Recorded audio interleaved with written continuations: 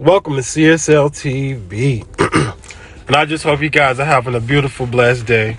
Now, we about to get into some news. Of course, this shit's gonna be wicked.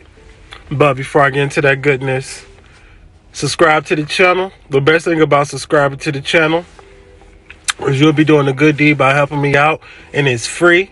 Like the video, comment down below what made you watch CSL TV because the feedback helped me create content and bring to you guys many different ways. And I'm a, um, I can't even think right now. But this channel basically is a review and reaction channel as well as an information channel. And you know what I'm saying? That's pretty much what I do over here. Um, I'm not going to hold y'all too much on this intro. So have a beautiful, blessed day. Let's get it. Before we go any further, know this video may be upsetting. It shows why a manhunt is underway right now. It's from over the weekend in New York City, and it shows a man walk up to a sleeping homeless man in lower Manhattan.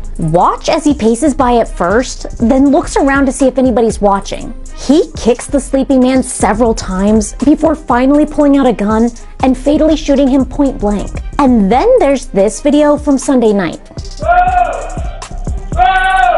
It shows another homeless man in New York yelling after being shot in the arm. Thankfully, he survived. Police think this and three other recent shootings of homeless people here in DC have all been done by the same lone gunman. They're looking for this man, who police say has carried out at least five shootings across the two cities, leaving two people dead. Being homeless should not turn into a homicide, and I want to catch this guy bad. A neighbor had this to say about the man killed in that first video we showed you. He's just so nice and sweet and outgoing and um, kind.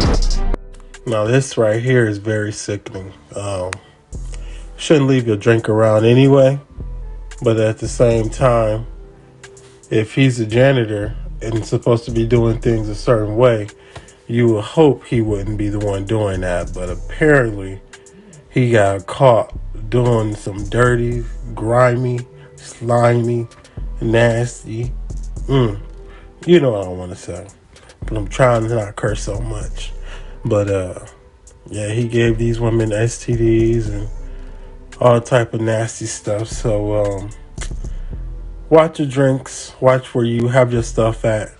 For the simple fact, you have nasty people out here, such as as such as this janitor guy.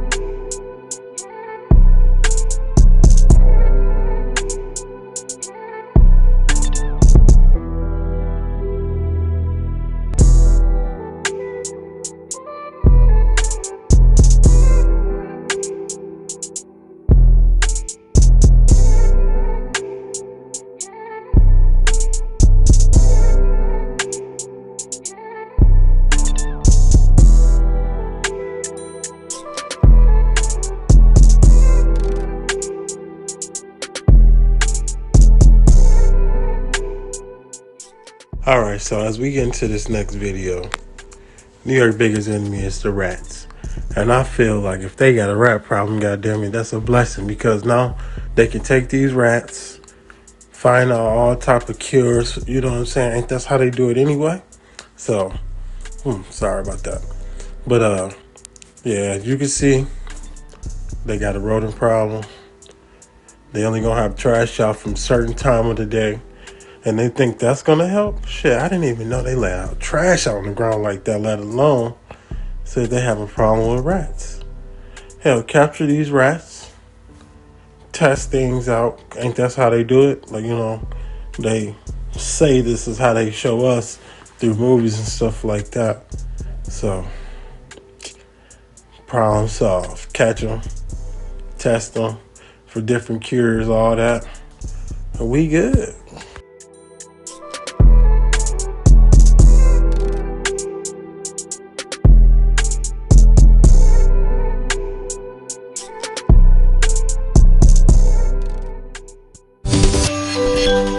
It's spooky season, and here's something you'll see only this time of year. That is a woman stealing a 14 foot tall skeleton from someone's yard over the weekend. At first, it looks like she's just checking it out, but before you know it, the woman is trying to shove it in the back of her SUV, and now neighbors have a bone to pick. It is just a Halloween decoration, but somebody invaded our space and they took your property, and that's not okay with me. Now, the skeleton's owner is a single mom, and the community is rallying together to help find whoever stole it, and they're also offering a $50 reward for its return. A grizzly bear mauled two college wrestlers in Wyoming. Now, these two sophomores, Brady and Kendall, were out antler hunting with their teammates when they were attacked by a grizzly. It was a big bear, looked scary, mean, teeth, drooling, breath stank, bit me on the arm and shook me around, threw me. Kendall then used his body to help his friend and distract the bear. That's when it got my head and she kind of tackled me and chewed me up a little bit. And then when it was done, it wandered off. Now, Brady ran to their other teammates and called 911. One was airlifted to the hospital, and the other was taken by ambulance to undergo surgery. Wyoming officials are investigating the attack, but say up to 10 bears could be in the area where the students were hurt. Good news, though, they're both expected to make full recoveries now. Now, this is real sad. I wonder why they fired the guy and then tried to offer him his job back. But um, he had Down syndrome. He was working there for 20 years, and they fired him because he couldn't do the job of a normal person. Now, I wonder when did it dawn on these folks that he couldn't do the job like a normal person. But then you say, well, as a normal person, because he have organs, he have eyes, he have a nose, he have ears, he lips, limbs, fingers, toes. I mean, shit, that seemed like a normal person to me. So maybe he's a little slower than others, or not as fast and productive, or whatever they want to call it, when they're trying to compare a human, uh, well, I should say a living thing, when we are created differently. You know what I'm saying?